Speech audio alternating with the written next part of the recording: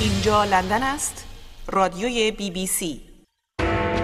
صبح تهران خانم آقایان سلام. صبح همه شما شنوندگان عزیز بخیر. من علی همدانی هستم. این چشم انداز وامدادی بی بی سی بسیار خوش آمدید. در برنامه امروز We will immediately نخست وزیر بریتانیا دیشب بر صفحه تلویزیون ظاهر شده و مقرراتی وضع کرده بی‌نظیر در تاریخ این کشور تعداد دفعاتی که می شود از خانه بیرون رفت حالا در بریتانیا محدود شده است. در سایر نقاط جهان کرونا همچنان به سرعت قربانی می‌گیرد. در مورد آن هم خواهیم شنید. در ایران اما خواهیم شنید که جنگ تبلیغاتی این کشور و آمریکا ادامه دارد. می‌پرسیم مخاطب حرفهای مقامات جمهوری اسلامی درباره احتمال دستکاری های این کشور مانند آمریکا چیست همینطور خواهیم گفت که ایران گروه پزشکان بدون مرز را اخراج کرده است مجله های تهران را مرور می‌کنیم همه پس از مشروع خبرها از بی بی سی در لندن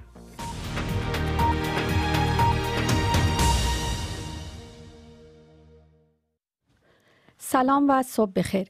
نخست وزیر بریتانیا می‌گوید برای مقابله با شیوع ویروس کرونا همه باید در خانه بمانند. If you don't follow the rules, به گفته بوریس جانسون تجمع بیش از دو نفر کسانی که با هم زندگی نمی کنند ممنوع می شود و مردم تنها می توانند برای کارهای ضروری از خانه بیرون بروند. آقای جانسون گفته پلیس با متخلفان برخورد می کند. شمار قربانیان ویروس کرونا در بریتانیا به 335 نفر رسیده. سازمان بهداشت جهانی از افزایش سرعت گسترش همگیری ویروس کرونا در جهان ابراز نگرانی کرده. به گفته این سازمان 67 روز طول کشیده تا تعداد مبتلایان شناسایی شده به 100 هزار نفر برسد. دو برابر شدن این رقم اما فقط به 11 روز وقت نیاز داشت و تنها به 4 روز دیگر نیاز بود تا شمار بیماران به بیش از 300 هزار نفر برسد. ویروس کرونا تاکنون جان بیش از 16 هزار نفر را در جهان گرفته. بیش از 370 هزار مورد ابتلا هم در جهان ثبت شده. ایران اعلام کرده به کمک پزشکان بدون مرز نیازی ندارد. علیرضا وهابزاده مشاور وزیر بهداشت ایران در توییتی نوشته فعلا نیازی به برپایی تخت بیمارستانی توسط نیروهای خارجی نیست و حضور این تیم منتفی است. این در حالی است که تیمی از پزشکان بدون مرز پریروز با محموله ای از کمک ها وارد ایران شده بودند. بر اساس آمار رسمی وزارت بهداشت ایران تا صبح دیروز 1812 نفر بر اثر ابتلا به ویروس کرونا درگذشتند. وزیر بهداشت ایران گفته از شیوه های تازه‌ای برای جلوگیری از شیوع بیشتر ویروس استفاده خواهد شد. طرحی رو آماده کردم. در ستاد ملی کرونا که با ریاست محترم رئیس جمهور محترم تشکیل خواهد شد. اون رو خواهم برد به عنوان طرح فاصله گذاری اجتماعی یا به حال social distancing که این انشالله دنبال خواهد شد و ما علاوه بر خواهش و تمنا از شیوه های دیگری هم برای محدود کردن قرار که استفاده کنیم. آمریکا اعلام کرده که در واکنش به ادامه بنبست سیاسی در افغانستان یک میلیارد دلار از کمک های امسال خود به کابل را قطع می کند. وزیر خارجه آمریکا دیروز در کابل با محمد اشرف غنی رئیس جمهوری و عبدالله عبدالله رئیس اجرایی پیشین دیدار کرد. مایک پومپئو پس از کابل برای دیدار با ملا عبدالغنی برادر از رهبران ارشد گروه طالبان به دوحه قطر رفت. آنها درباره توافق صلح ماه گذشته بین آمریکا و گروه طالبان گفتگو کردند. کامبیز فتاحی از واشنگتن گزارش می‌دهد.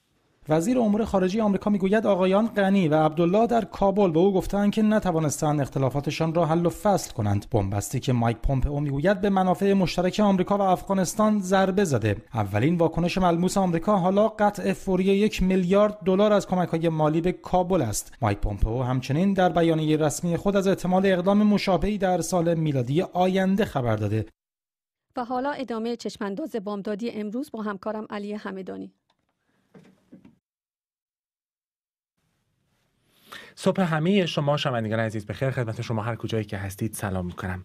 علی همدانی هستم. بسیار پوزش می‌خوام اگر که بیننده این برنامه از تلویزیون فارسی بی بی سی هستید با مشکل فنی روبرو هستیم که امیدوارم هرچه سریعتر رفع بشه و تصویر ما برقرار بشه. پنجم فروردین و پنجم بهار 24 ماه میلادی مارس روزی که حتما در تاریخ بریتانیا خواهد ماند. شب گذشته نخست وزیر این کشور بر صفحه تلویزیون ظاهر شد و دستورهای تازه‌ای رو به مردم اعلام کرد. دستوراتی برای مقابله با شیوع ویروس کرونا. بی‌نظیر در تاریخ این کشور. بوریس جانسون نخست وزیر از برقراری شرایط ویژه آماده شد. در بریتانیا خبر داد. او گفته همه باید در خانه بمانند. تجمع بیش از دو نفر هم ممنوع است و پلیس بر مقررات جدید نظارت خواهد کرد. بوریس جانسون که دوشنبه شب 23 مارس در نطقی تلویزیونی با مردم بریتانیا صحبت می‌کرد گفته این شرایط برای سه هفته آینده به اجرا گذاشته خواهد شد. در بریتانیا حدود 6650 نفر به ویروس کرونا مبتلا هستند 335 نفر هم تا حالا بر اثر ابتلا به این ویروس درگذشتند. اکثر مغازه بسته خواهد شد و تعداد دفعاتی که از منزل می شود بیرون رفت هم محدود می شود سامه فرزانه و نگاهی به دنیایی که مثل گذشتش نیست آمریکا یک کشتی با تجهیزات بیمارستانی را به لس آنجلس میفرستد تا کمک حال دستگاه بهداشتی ابرشهر ساحل غربی باشد.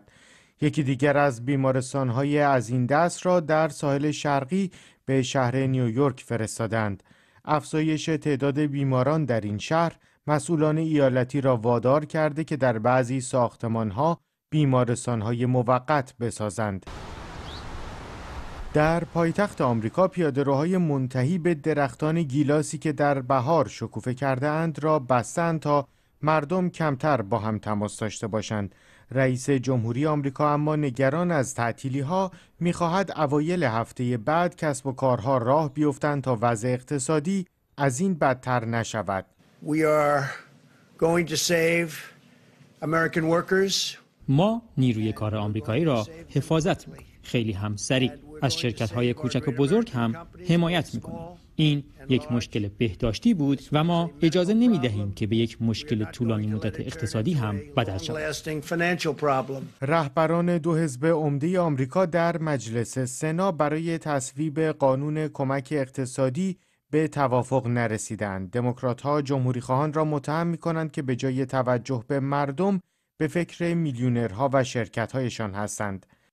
در مراکش برای کسانی که شغلهای آزاد و فصلی داشتند مقررات محدودیت تردد از همین حالا شرایط اقتصادی بدی را به وجود آورده تصویر آدمهایی که بیپولی و بیکاری حالا درماندهشان کرده در کشورهای مختلف دیده می شود. در برزیل و در آستانه فصل سرد بیرون از بیمارستانها به مردم واکسن آنفولانزا می‌زنند تا به مشکلهای کشور افزوده نشود رئیس جمهوری این کشور که پیشتر اجازه داده بود صاحبان کسب و کار به راحتی کارمندانشان را اخراج کنند چند ساعت بعد مجبور به پس گرفتن فرمانش شد بیمارستان نظامی صحرایی ارتش کلمبیا حالا مکانی شده برای درمان کسانی که مبتلا به ویروس کرونا هستند و به آی سی احتیاج ندارند. در بریتانیا مقام های این کشور بالاخره تصمیم گرفتند که مقررات محدودیت رفت و آمد را برقرار کنند. بوریس جانسون نخست وزیر این کشور که پیشتر مخالف این سیاست ها بود بالاخره به این محدودیت ها تن داده. بنا به مقررات جدید دولت جلوی تجمع های بیش از دو نفر کسانی که با هم زندگی نمی کنند را در مجامع عمومی می گیرد. همه مراسم اعم از مراسم عروسی و مذهبی هم لغو هستند به جز تشییع جنازه ها. دبیر کل سازمان بهداشت جهانی می‌گوید که علیرغم همه این محدودیت ها ابتلا به ویروس کرونا 2019 در جهان در حال افزایش است. More than 300,000 cases of COVID-19 have now been reported to WHO. ابتلای بیش از 300 هزار نفر به کوید 19 تقریبا از تمام کشورهای جهان به سازمان بهداشت جهانی گزارش شده.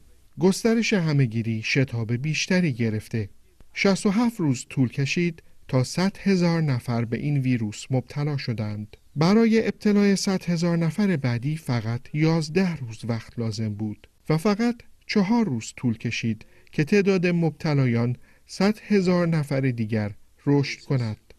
And just four days for the third 100,000 سام فرزانه گزارش می‌داد.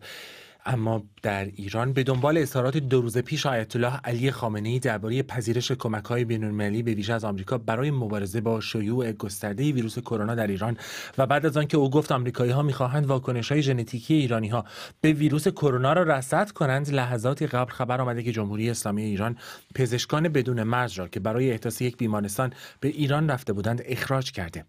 علیرضا وهابزاده مشاور وزیر بهداشت ایران روز دوشنبه پنجم فروردین هم در صفحه توییتر خودش نوشته ضمن تشکر از پزشکان بدون مرز با اجرای طرح بسیج ملی مقابله با کرونا و نیز استفاده از تمام ظرفیت درمانی نیروهای مسلح فعلا نیازی به برپایی تخت بیمارستانی توسط نیروهای خارجی نیست و این حضور منتفی است. اعزام هیئت پزشکان بدون مرز و تجهیزات تجهیزات آنها در دو روز اخیر با لشکرکشی اصولگرایان و رسانه های نزدیک به سپاه پاسداران روبرو شد. از جمله حسین شریعت مداری مدیر مسئول روزنامه کیهان با اشاره به سخنان رهبر جمهوری اسلامی از حضور این گروه در ایران به شدت انتقاد کرده بود و تلویحا آنها را جاسوس خوانده بود. همزمان کیانوش جهانپور سخنگوی وزارت بهداشت ایران اعلام کرده که از امروز آمار قربانیان و مبتلایان به کووید 19 را به تفکیک استانها اعلام نخواهند کرد. سایر جزئیات مربوط به ایران رو بشنوید از همکارم مریم افشنگ. روحانی رئیس جمهور ایران دیروز در نشستی که با هیئت دولت داشت اعلام کرد که مردم نکات ایمنی و بهداشتی رو در این مدت ایام عید رعایت کردن. حتی اگر سفر هم رفتن سعی کردن خیلی در واقع بیرون نرن بیشتر تو خونه ها بمونن و در واقع داشت می‌گفت که مردم دارن رعایت می‌کنن. این در حالیه که فرمانده ستاد مقابله با کرونا هشدار داده که بازگشت مسافران اوضاع رو به هم میریزه به خصوص در تهران.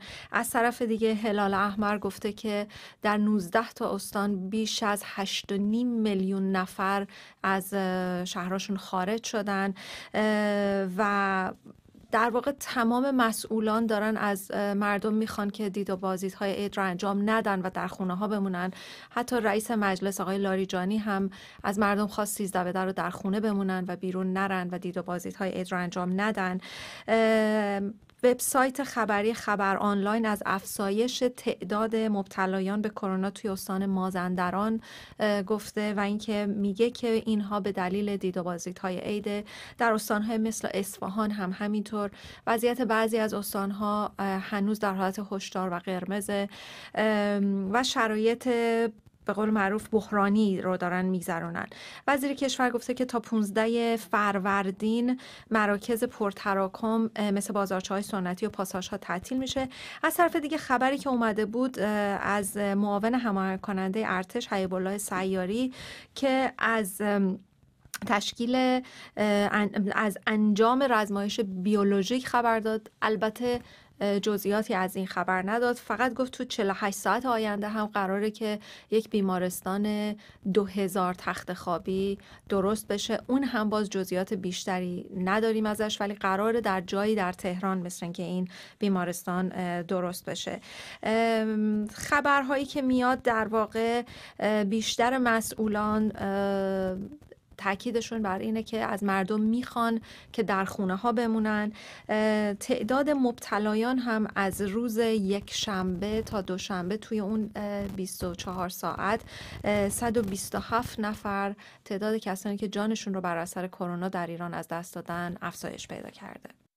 مریم افشنگ بود. مایک پومپو وزیر امور خارجه ایالات متحده آمریکا مقام های جمهوری اسلامی ایران را به سرقت بیش از یک میلیون یورو کمک ها و اقلام پزشکی ارسالی به ایران متهم کرده و گفته این کشور ماسکا و دستکش های ارسالی را در بازار سیاه به فروش میرساند. وزیر خارجه آمریکا در واکنش به سخنان آیت الله خامنه ای در زمینه مبدع گسترش ویروس کرونا او را به دروغ پراکنی متهم کرده و گفته این کار او مردم ایران و جهان را به خطر میاندازد. همزمان رئیس جمهوری اسلامی ایران یک بار دیگر تاکید کرده کشورش کمک پیشنهادی آمریکا در زمینه مقابله با بیماری کرونا را نمیپذیرد و آمریکا اگر قصد کمک دارد به تحریم ها علیه ایران را بردارد. مهنوش پورزیایی خبرنگار بی بی سی از واشنگتن گزارش می‌دهد.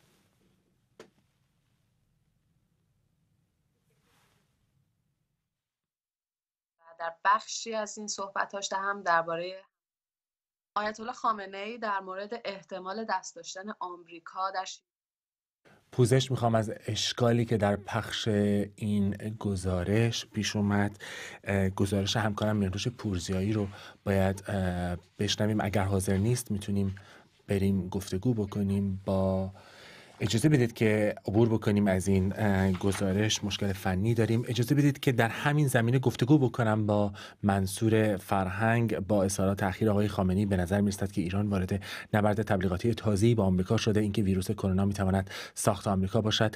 با منصور فرهنگ دیرتر صحبت می‌کنیم. نخست گزارش مرنوش پورزیایی رو بشنویم.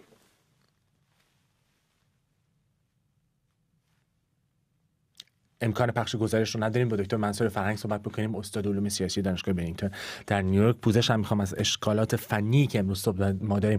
آقای فرهنگ وقت شما به خیر سال نوتون مبارک. در مورد این ادعای آقای خامنه ای اول ازتون بپرسم چی فکر می‌کنید؟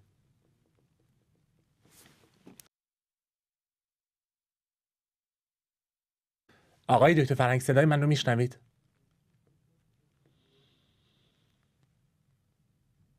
آقای متاسفانه صدای منصور فرهنگ رو نمیشنویم. عبور بکنیم از این هم و بریم سراغ شبکه های مجازی. بسیاری در شبکه های مجازی این روزها در مورد بالا و پایین زندگی با ویروس کرونا می نویسن بشنویم اونها را از همکارم فرنه تقیزاده.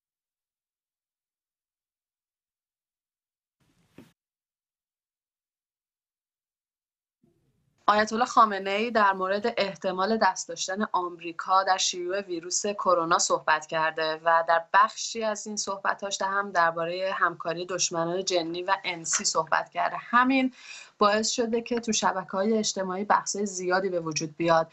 یه سری از کاربرانی که از همراهان نظر آیت الله خامنه ای هستن و به نوعی از نزدیکان حکومت ایران هستن این صحبت ها رو به نظرشون عجیب می اومد حتی و می‌گفتن ما اولین باری هستش که داریم از آقای خامنه ای همچین صحبت هایی رو میشنویم. برخی از اونها نوشته بودن حتی این صحبت ها ما رو یاد داستان های حضرت سلیمان انداخته.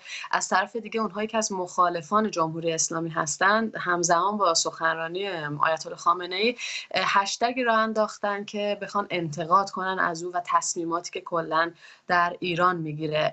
با هشتگ خامنه ای وایرس یا ویروسی به نام خامنه ای نظرهای خودشون نوشتن که باز بحث های جن و انس هم توش جا گرفته بود و به نوعی به تنز و سخرم گرفته بودن این صحبت های آقای خامنه ای رو.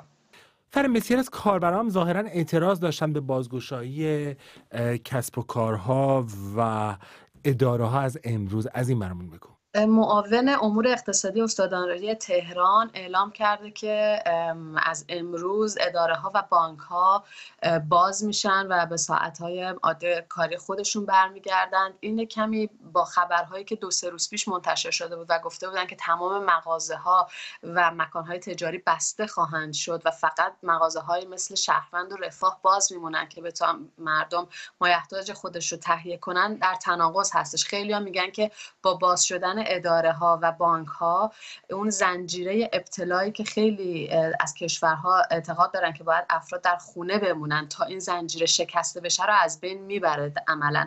و باز دولت ایران و مشخصا آقای روحانی رو متهم می‌کنن به اینکه نمی‌تونه تصمیم گیری دقیق و یک پارچه رو در سطح ایران عملی کنه و داشته باشه.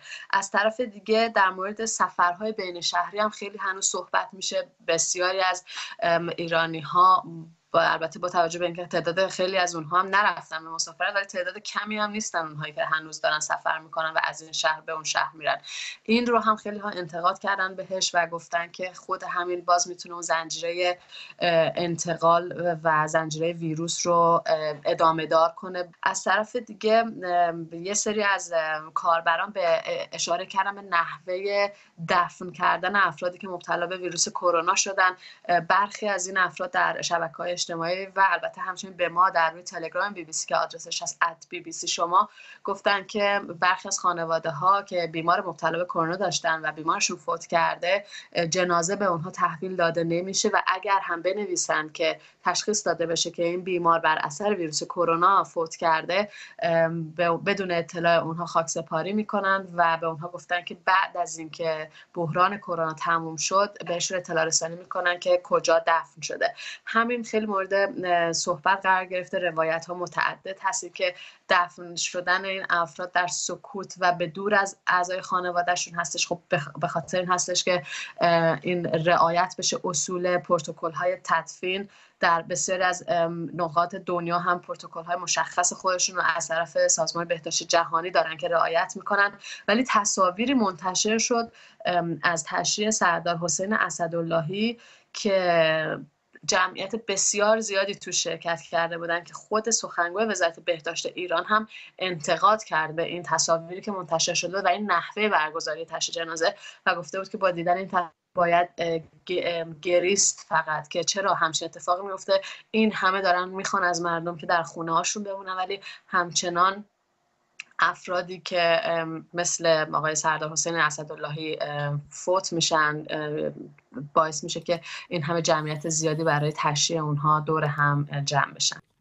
همکارم فرنه تقیزاده بود. همونطور که به شما گفتم مایک پامپو وزیر امور خارجه ایران مقام های ایران رو به سرقت بیش از یک میلیون یورو کمک ها و اقلام پزشکی متهم کرده. وزیر خارجه آمریکا همینطور در واکنش به سخنان رهبر جمهوری اسلامی در زمینه مبدأ گسترش ویروس کرونا او را به دروغ پراکنی متهم کرده. مهنوش پورزیایی گزارش می‌دهد. وزارت خارجه آمریکا در تازه ترین بیانیه خود اظهارات اخیر رهبر ایران درباره بیماری کرونا را ساختگی خوانده و دلایلی را برای سوء مدیریت های ایران در مقابله با این ویروس عنوان کرده. از جمله تاکید کرده که علیرغم ادعاهای دولت ایران اسناد مربوط به شرکت های درمانی ایران نشان می دهد از ماه ژانویه یعنی حدود سه ماه پیش واردات اقلام دارویی پزشکی به ایران انجام شده. ایران می‌گوید تحریم های آمریکا مانع دریافت کمک های درمانی لازم برای مقابله با ویروس کرونا است. وزارت خارجه آمریکا در این حال گفته شرکت هواپیمایی ماهان ایران تنها در ماه فوریه زمانی که اوج بیماری کرونا در ووهان چین بود دست کم 55 پرواز بین تهران و چین انجام داده و موجب گسترش شدید ویروس میان ایرانیان شده. بر اساس این بیانیه مقام های ایرانی توصیه های مرتب مقام های بهداشت درمان خودشان را هم نادیده گرفتند و اولین موارد مرگ از کرونا را در کشور برای نه روز تمام تکذیب کردند. در بیانیه وزارت خارجه آمریکا یک بار دیگر بر پیشنهاد کمک درمانی پزشکی آمریکا به کشورهای دیگر از جمله ایران اشاره شده و آمده آیت الله خامنه رهبر ایران ترجیح می‌دهد به سراغ تئوری های توطعه برود و ایدئولوژیش را بر جان ایرانیان ارجح بداند.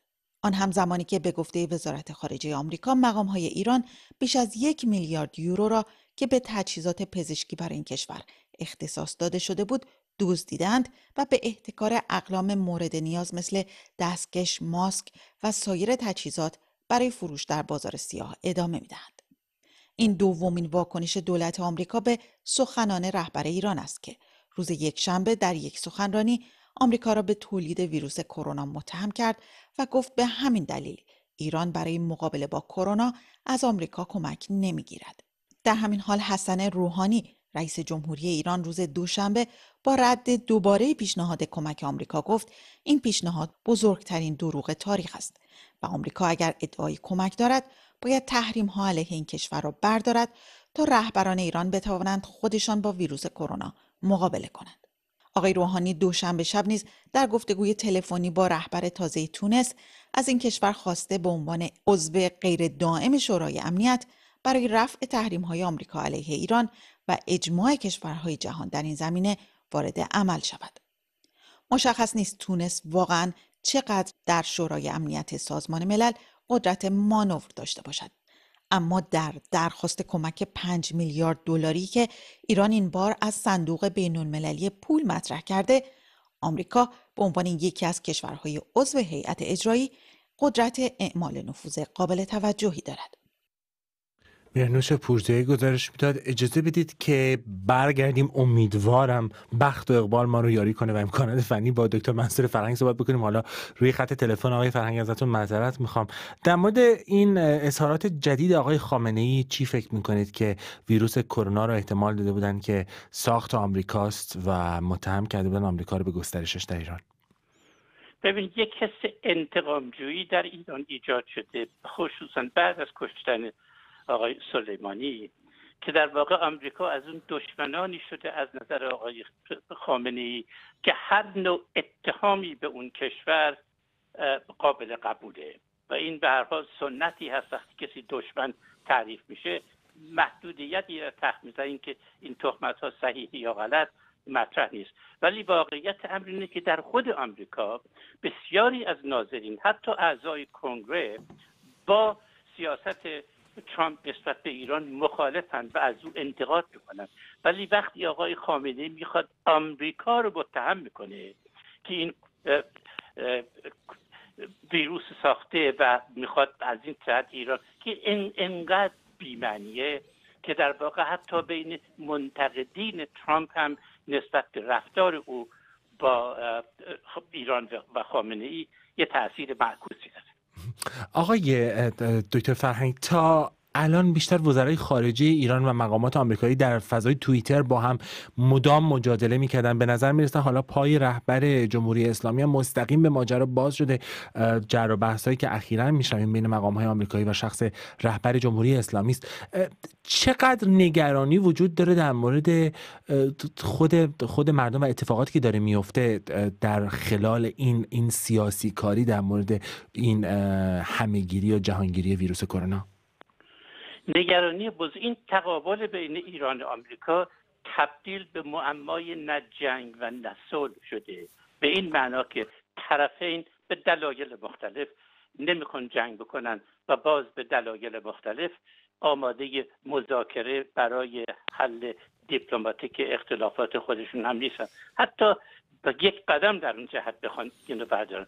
بنابراین در چنین شرایطی بسیاری از ناظرین خصوصا کشورهای اروپایی این نگرانی رو دارن که یک اشتباه یک تصور غلط و یا یک تصادف بتونه در اونجا آتشی برافروزی در منطقه یک بار دیگه که در واقع پیامدهای اون باز تمام منطقه تاثیرات اروپایی داره و جلوگیری از اون هم به این کار سادین امید این بود که این ویروس فراگیر این فاجعه بزرگی که در دنیا به وجود اومده بیاد بین ایران و آمریکا حداقل نوعی سازش نوعی نرمش بین اونها ایجاد بکنه که حداقل قدمی در جهت مهار کردن بحرانی نه جنگ و صلح بردارن. در اینجا یک نکته بسیار مهم باید اضافه کنم و اون اینکه به نظر من پرزیدنت ترامپ حتی علا رقم خواست وزیر خارجه و مشاور امنیتی خودش ولی با حمایت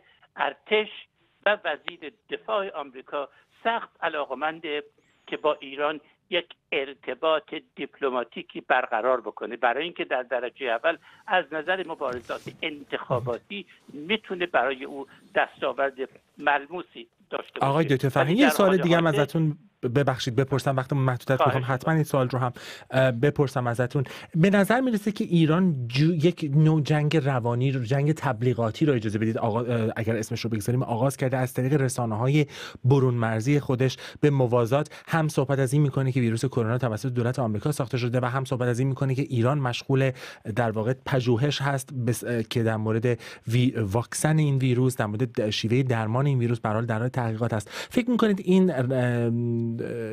روند تبلیغ این پروپاگاندای جمهوری اسلامی تا چند اندازه برنده خواهد بود؟ این پروپاگاندا از این جهت کشورهای اروپایی و حتی چین نسبت به آمریکا و طرز رفتار آقای ترامپ انتقاداتی دارد همون که در خود آمریکا اکثریت بزرگ ناظرین از رفتار و کردار ترامپ در رابطه با این مسئله و بسیاری مسائل بینالمللی انتقادات زیادی دارن. ولی این حملات ایران هیچ نوع دستاورد ملموس و مشخصی برای ایران رفاه و امنیت و حیثیت ایران نداره. بلکه ایران خصوصا در رابطه با حضور این چه دوستانش همکارانش در عراق که با آمریکا درگیری دارند این تنش هدف این تنش واقعا از نظر منافع ملی ایران چیه؟ ترامپ انگیزه های سیاسی کوتاه مدت داره. ولی آقای خامنه ای با این پرخاشگری ها و این اتهاماتی که می‌زنه به نظر من اعتبار رژیم خودش رو داره بهش لطمه می‌زنه و هیچ نوع دستاوردی از نظر سیاست خارجی ایران یا منافع ایران نداره. چرا این کارو می‌کنه؟ حس انتقام جویی خود بزرگبینی سیاه و سفید دیدن دنیا که از این جهت شباهت های زیادی با ترامپ داریم. سپاسگزارم دکتر منصور فرهنگ از نیویورک با ما صحبت می‌کردن. صحبتون بخیر. شنوندگان عزیز می‌تونید با ما تماس بگیرید. در ضمن این دریاچه که روی این میز اگر که می‌بینید را افتاده دلیلش این هستش که در میان این همه ماجرای فنی و تکنیکی و امثال هم یک پارچه آب هم ریخت روی این میز. این برنامه فارسی بی بی سی است که از لندن پخش می‌شود. دیدگاه های شما در این برنامه. در تلگرام به بی بی سی شما. بامدادی at bbc.co.uk دو سفر چهل و چهار سیصد و هفتاد چهارصد و دوازده بیست و دو بیست و دو.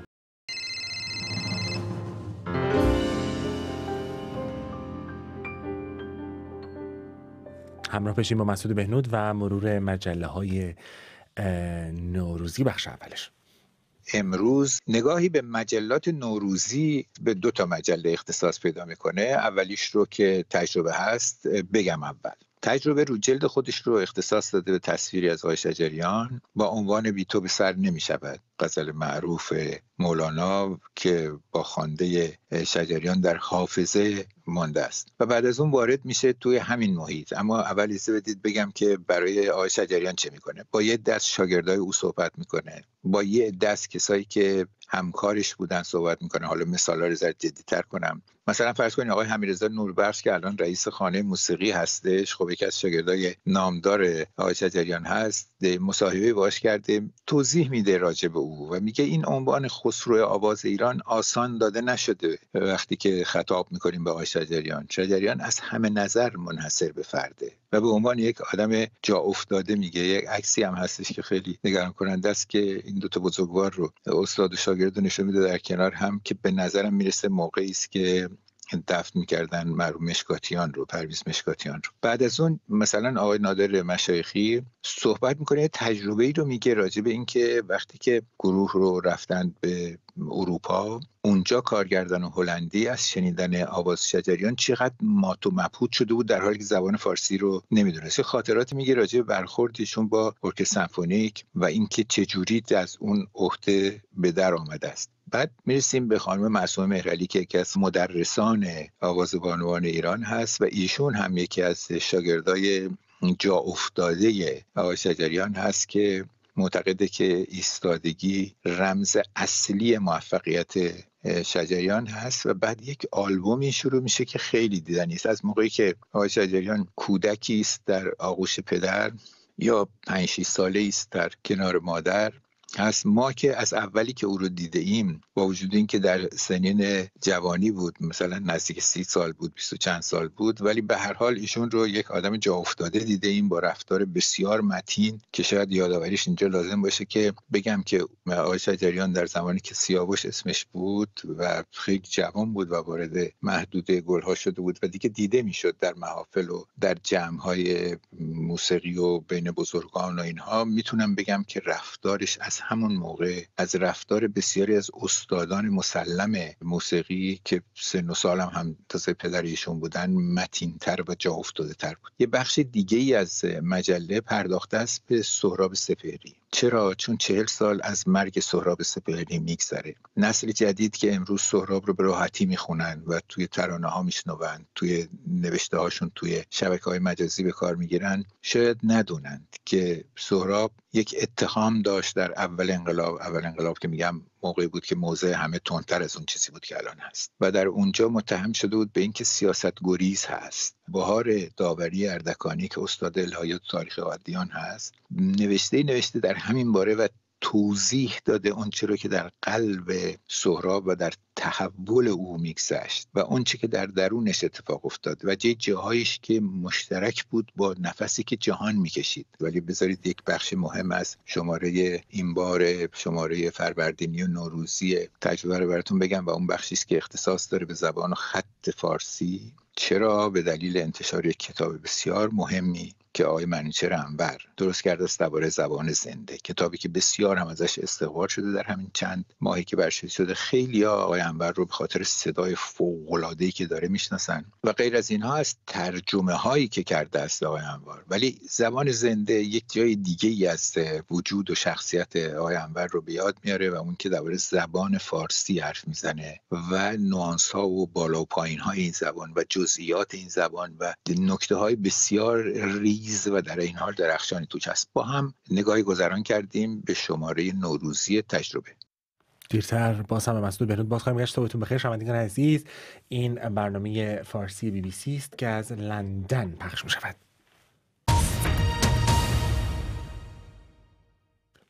به نیمه دوم چشمانداز بامدادی بی بی سی از لندن خوش آمدید. مایک پومپئو وزیر امور خارجه آمریکا با صدور اطلاعیه‌ای ضمن انتقاد تند از ادامه اختلافات میان محمد اشرف غنی و دکتر عبدالله عبدالله بر سر پست ریاست جمهوری این کشور.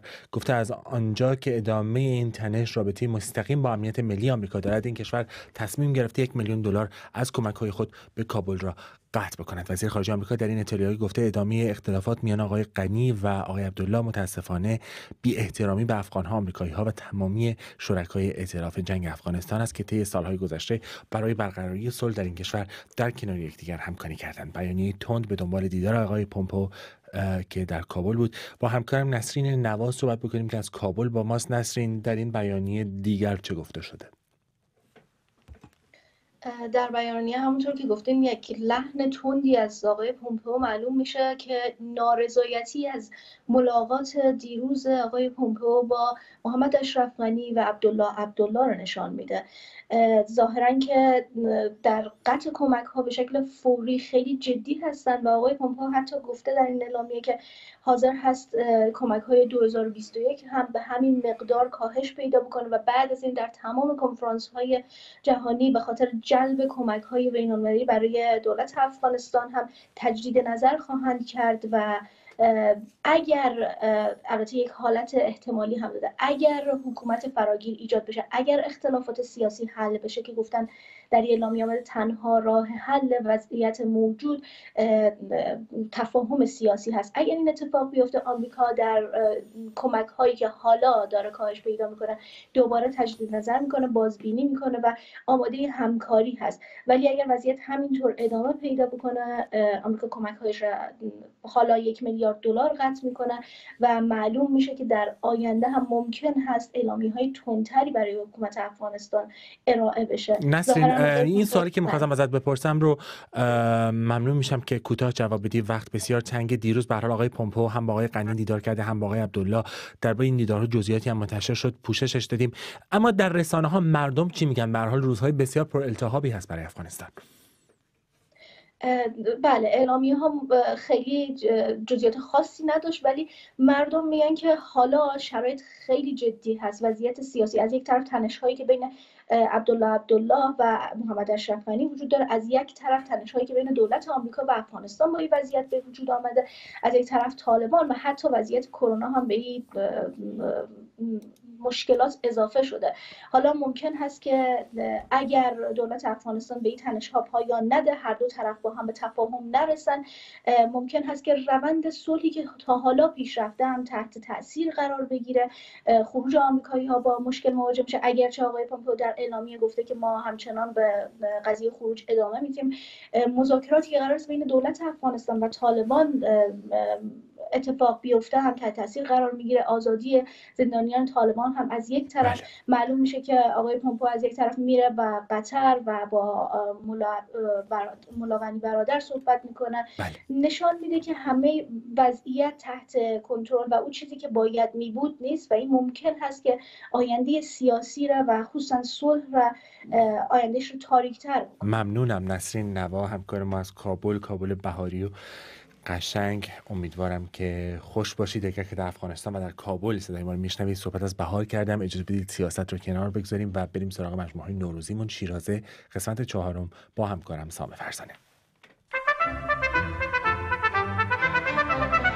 شیرازه ورقی از گلستان سعدی. عدالت سلام. در برنامه پیش از دوره و زمانه سعدی گفتیم و حکایتی از مردمان ولایتی شنیدیم که از دست حاکم آسی شده و از ولایت به در می رفتند. وزیر در این حکایت به پادشاه می‌گوید چو گرد آمدن خلقی موجب پادشاهی است تو مر خلق را پریشان برای چه می‌کنی مگر سر پادشاهی کردن نداری ابراهیم سلطانی استادیار فلسفه سیاسی و علوم سیاسی در دانشگاه میشیگان شرقی می‌گوید در این جمله بذری نهفته است که اصلا شاید خود سعدی هم قصد کاشتش را نداشته. سعدی در واقع داره میگه که ای ملک یادت باشه که موجب پادشاهی تو خلقه گرد آمدن خلقه. آدما دور هم جمع میشن و تصمیم می‌گیرن که تو رو پادشاه بکنن. این خیلی نزدیکه به درک امروزی ما از مقوله مشروعیت یک نظام سیاسی که مبتنی بر رأی مردمه. در اهمیت آن بعض را آقای سلطانی می‌گوید که درک سعدی و هم اسرانش از موقعیت پادشاه این گونه بوده است. پادشاه یا حاکم؟ که در رأس حکومت قرار داره پادشاه دادگر در واقع سایه خداوند بر زمینه و از طرف دیگه پدر رعایاست می‌بینیم که اینجا یک سلسله مراتبی گویی وجود داره. خدایی هست سایه او بر زمینه و بعد رعایا حالا شاید ما بپرسیم رابطه شاه و رعیت چه دخلی به مسئله عدالت دارد. جواب کوتاهش این است که هر کسی نمی‌تواند شاه شود.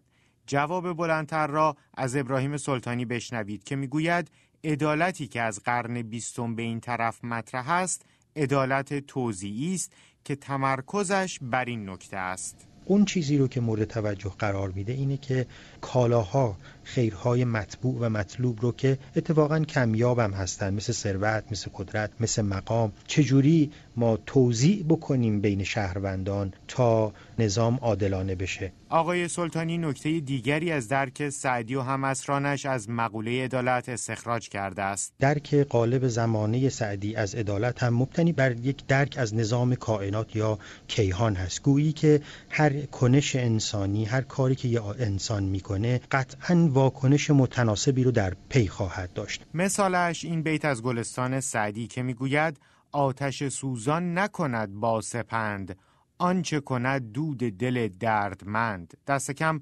تجربه زندگی هر کدام از ما نشان می دهد اینطورها هم نیست که اگر کسی تمام عمر از هر نوع بدی دوری کند گرفتار دردسر نمی شود و آن کس که عمری خلق را می آزارد آخر سر سزای اعمالش را در همین دنیا ببیند برای همین است که حالا در جوامع بشری قانون هست و این قانون حدودی دارد و قانونگذار و مجریش هم ناگزیر از اصولی پیروی می کنند و چشم امید شهروندان برخلاف رعایا به خنده ملوکانه نیست. در زمانه سعدی اوضاع فرق داشت. حکایتی از گلستان را با شبنم طلوعی برایتان روایت می کنیم.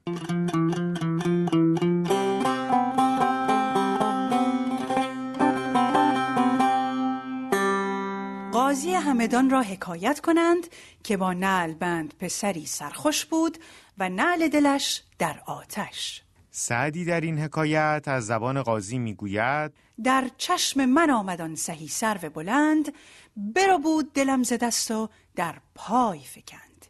این دیده شوخ می‌کشد دل بکمند خواهی که به کس دل ندهی دیده ببند.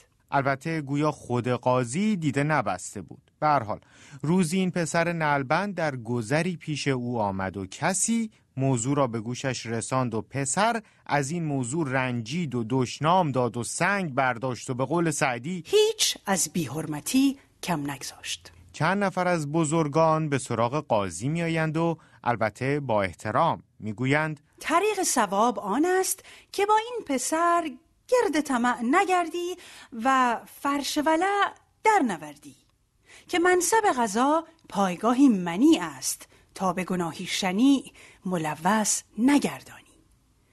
بسا نام نیکوی پنجاه سال که یک نام زشتش کند پایمال.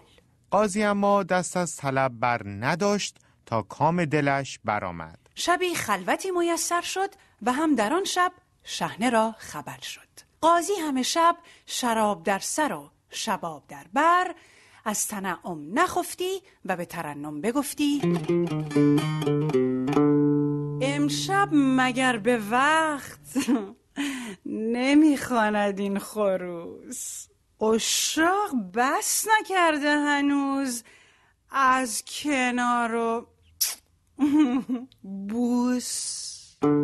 همان شب به ملک خبر می‌دهند که در ملک تو چنین منکری حادث شده است. چه فرمایی؟ ملک می‌گوید که شاید معاندان در حق قاضی دشمنی کردند و خودش سهرگاهی با تنی چند از خاصان به بالین قاضی میآید و از قضا شم را دید ایستاده و شاهد نشسته و می ریخته و قده شکسته و قاضی در خواب مستی بیخبر از ملک هستی قاضی که بیدار می شود و چشمش به ملک می افتد در میابد که چه گرفتاری شده.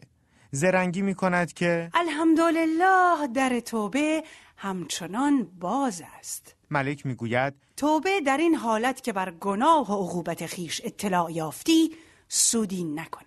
قاضی اما دست از امید بر نمی دارد و شیرین زبانی می کند اما نظر ملک بر نمی گردد مسلحت آن می بینم که تو را از قلعه به زیر اندازم تا دیگران نصیحت پذیرند و عبرت گیرند. قاضی به ملک می‌گوید این گناه نه تنها من کردم دیگری را بیانداز تا من عبرت گیرم. ملک را خنده گرفت و به عف از سر جرم او برخاست.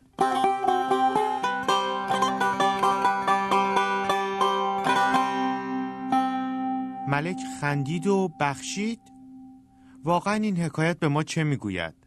نظر ابراهیم سلطانی را بشنویم. اگر ما قائل باشیم که در یک دستگاه قضایی عادلانه دو هدف وجود داره یکی اینکه کسی که قانون رو زیر پا گذاشته تنبیه بشه و دوم کسی که قانون رو زیر پا نگذاشته تنبیه نشه می‌بینیم که این وضعیت اینجا وجود نداره و دستگاه قضایی در کار نیز آین دادرسی در و البته ما انتظار هم نداریم که در زمانه سعدی چنین نظام قضایی پیچیده و دقیقی وجود داشته باشه. و نظر مژگان قاضی راد نویسنده. بخشیده شدن یک مجرم به خاطر یک لطیفه یک نکته سنجی ظریف. خب این نشون دهنده این که سیستم عدالتی وجود نداره. و نظر نویسنده دیگر مهدی جامی که نگاهی کلیتر به مفهوم عدل در گلستان دارد. من به طور کلی فکر می کنم که سعدی به دلایل مختلف یکی اینکه تقدیر باور است یکی اینکه بعد از حمله مغول است کل داستان کل زندگی او. بیشتر گرایش به این داره که باید از خطاها گذشت. مردم اندازه کافی صدمه خوردن آسیب دیدن و کار بزرگان رفو کردن این آشفتگی هاست. نوعی جوون مردی رو می‌تونم بگم که سعدی پایه نگاه اجتماعی خودش می‌گیره. اگر معنای عدالت دیروز همین ها بوده که مورد نظر سعدی است در گلستانش امروز معنای دیگری دارد. یکی از بهترین کتاب ها برای توضیح برداشت امروزی به نظر ابراهیم سلطانی کتابی است به نام نظریه‌ای در باب عدالت از نویسنده‌ای به نام جان رالز. نظریه در باب عدالت رالز یک نقطه عطف در فلسفه سیاسی انگلیسی زبان تحلیلی معاصر درباره مقوله عدالت است. بنابراین کسی نمی‌تونه بحث های نیم قرن اخیر رو بفهمه مگر اینکه بدونه که جان رالز درباره عدالت چه گفته و چه نظریه‌ای طرح کرده؟ کتاب نظریه‌ای در باب عدالت با دو ترجمه متفاوت در ایران منتشر شده است. یکی را نشر مرکز منتشر کرده با ترجمه از مرتزا نوری و دیگری را پژوهشگاه مطالعات فرهنگی و اجتماعی وزارت علوم با برگردان سید محمد کمال سروریان و مرتزا بهرانی. در برنامه بعدی شیرازه از این می‌گوییم که چرا لازم است در موارد دیگری بجز مفهوم عدالت هم گاهی راهمان را از سعدی جدا کنیم.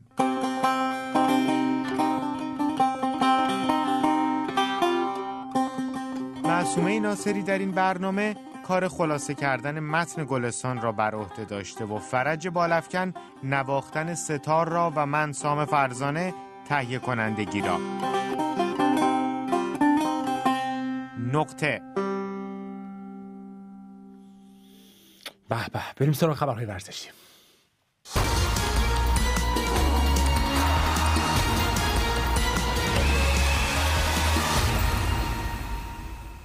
پوریای ژافره و خبرهای ورزشی کرونا زده امروز صبح. اخبار ورزشی شروع می‌کنیم با خبری که درس کرده از طرف چندین نفر از اعضای کمیته بینالمللی المپیک که مسابقه المپیک 2020 توکیو یک سال به عقب خواهد افتاد. شاید برای خیلی از شما این سوال باشه که با توجه به این بحران ویروس کرونا و تاثیر عمیقی که روی مسابقه ورزشی در سرتاسر سر جهان گذاشته چرا همچنان هم مسئولین کمیته بین المللی المپیک و همینطور کمیته برگزار کننده اون در ژاپن دارن روی مسابقه پافشاری می‌کنن برگزاری مسابقات طبق برنامه قبلی و اینکه حتی برای خودشون یک فرصت چند هفته ای رو در نظر گرفتن تا انتخاب های مختلف رو بررسی بکنن. اینطور که به رسانه ها درس کرده به نظر میاد که یک مشکل حقوقی اینجا وجود داره و این طوری هست که طرفی که اول اعلام بکنه که مسابقه ها عقب میفتن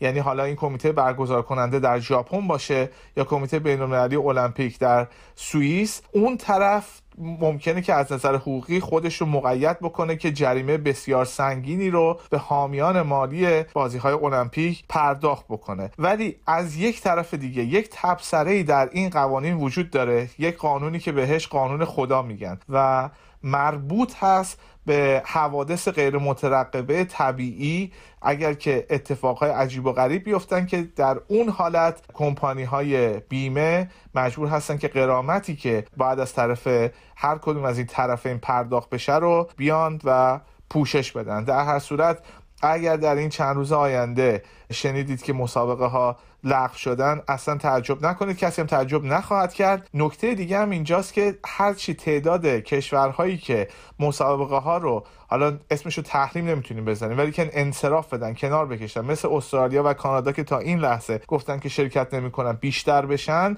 از این طرف پرونده قوی تری خواهد بود برای کمیته بین‌المللی المپیک و همینطور برای کمیته برگزار کننده که بازی ها رو عقب بندازن با توجه به اینکه الان دقیقا چهار ماه مونده تا شروع المپیک و بلافاصله بعدش بعد پارا المپیک برگزار بشه احتمال زیادی که هر دوتای اینها قبل از اینکه با فصل های ورزش ها و لیگ های معمولی تداخل پیدا بکنن به سال 2021 یا به قول ما به سال 1400 برسن و در اون موقع مسابقه برگزار بشه. بریم سراغ تاثیر شیوع ویروس کرونا بر مسابقات لیگ قهرمانان و لیگ اروپا. الان تصمیمی که گرفته شده در توسط یوفا اتحادیه فوتبال اروپا اینه که از این دوره مسابقه های لیگ قهرمانان و همینطور لیگ اروپا وقتی که نتایج مشخص بشه حالا صحبت این هستش که باید ببینن که کی شرایط برمیگرده به حالتی که دیگه خطر نداشته باشه برای بازیکن ها و بعد هم مسئله دیگه اون اتفاقی هستش که سر بازی پاریس سن و دورتموند پیش اومد. اینکه بازی رو اگه بخوام پشت درهای بسته برگزار بکنن و بعد مردم بیان بیرون استادیوم جمع بشن خودش یک فشار مضاعفی روی پلیس خواهد گذاشت و همینطور روی پرستاران و پزشکان. بنابراین بنابراین هنوز فاصله زیادی داریم با اون تاریخی که مسابقه رو بتونن پشت درای بسته برگزار بکنن. ولی از این دور که بگذریم الان صحبت این هستش که به جای مسابقه های رفت و برگشت این فصل بازی های حذفی لیگ و قهرمانان به صورت یک تک مسابقه برگزار بشن و احتمالا با توجه به اینکه مسابقه جام های اروپا هم عقب افتادن فینال اونها هم در تاریخ دیگه ای برگزار بشه.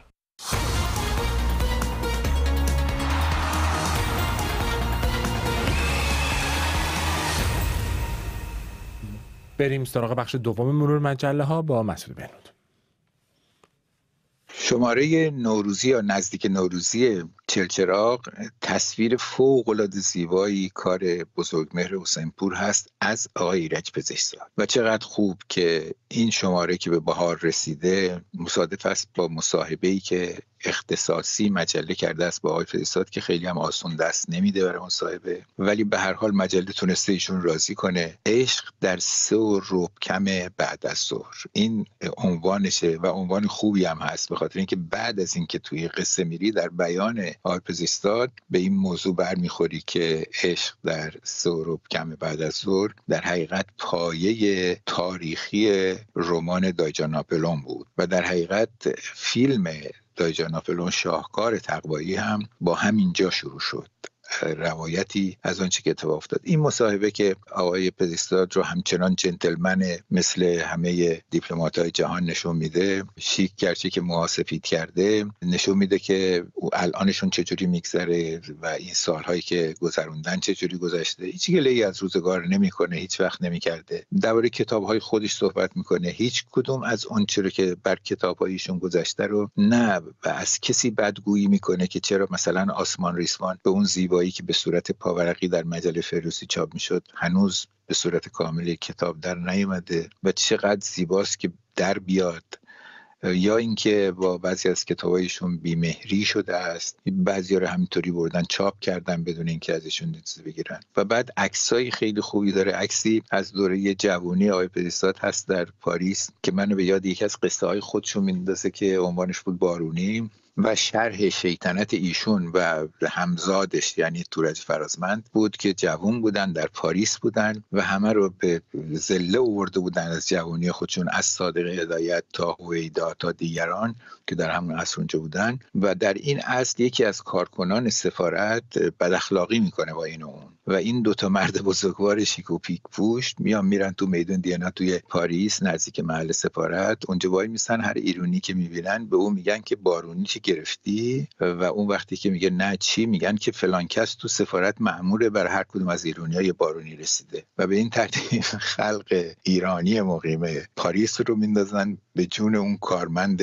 بدندیش بدگو که اذیتشون کرده بوده. بخش دیگری از مجله گفتگو داره با فرهاد حسنزاده فرهاد حسنزاده که بنا به تیتر مجله میگه بچه ها اجازه نمیدن برای بزرگسالها بنویسم بچه ها اجازه نمیدن برای بزرگسالها بنویسم کسی که الان در سطح دنیا به عنوان کسی که برای کودکان ایران کار کرده شناخته شده هست در چند جایزه پر اعتبار جهانی هم کاندیدا شدن هم در بعضی برنده شدن و به همین جهت هم هستش که ایشون یک فروتنی درونی داره که اون فروتنی درونیش اجازه نمیده که خیلی صحنه آرایی بکنه. در این مصاحبه هم به همین جاها می‌رسیم. ولی همینقدر که چند تا از ترجمه های زبان های دیگر کتاب های آقای حسنزاده اینجا هستش همینقدر که عکسی در کنار فریدون عموزاده خلیلی هستش. این دوتا یه ذره افق ذهنیشون هم به هم دیگه نزدیکه.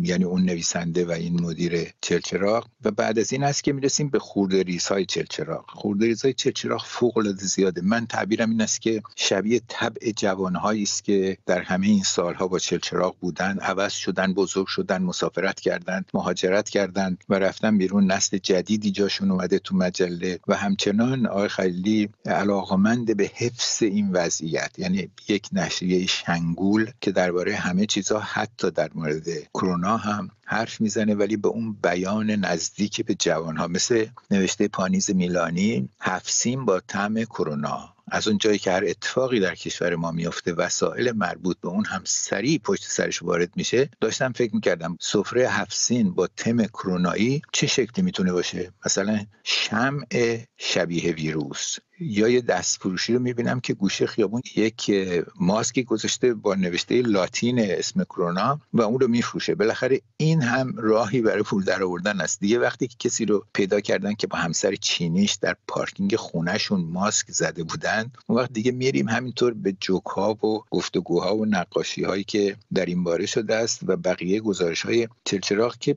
همون شکلی داره که همیشه داشته با همون گرافیک مدرن و نقاشی های فوق خوب و رو جلدای خیلی خوب. با هم نگاه گذرا کردیم به شماره نوروزی چلچراغ فردا هم با مسعود بهنود همراه خواهیم شد که نگاهی بندازیم به مجله ها شماره های نوروزی مجله ها خیلی دوست داشتم براتون پیام هایی که فرستادین رو بخونم متاسفانه تعداد زیاد است و وقت بسیار کم. متاسفانه تناقضی بین دولت دولت مردان ایران وجود داره.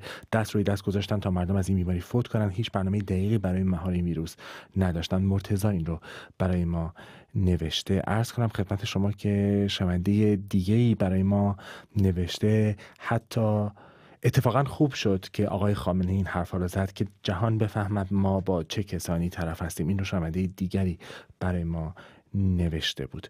عرض کنم که میلاد هم همین نوشته به نظرم رهبر ایران چنان چه دلسوزی واقعی برای رفع کرونا داشته باشد. به جای اتهام پراکنی علیه آمریکا پزشکان و داروسازان ایرانی آمریکای اسرائیلی را دعوت به تلاش مشترک برای مهار کرونا می‌کرد. این هم نظر دیگری بود. بسیار سپاسگزارم از همه شما که تا این لحظه با ما بودید شنوندگان و تماشاگران ارجمند. این برنامه همچنان تا یک ساعت دیگر تا ساعت 9 بامداد به وقت تهران و کابل ادامه خواهد داشت و تا لحظاتی دیگر و با نواخته شدن زنگ ساعت بیگ بن ساعت دوم چشم انداز بامدادی رو آغاز خواهیم کرد. تهیه کننده این برنامه فیروزه اکبریان من علی همدانی هستم و روز بسیار خوبی برای همه شما آرزو می‌کنم.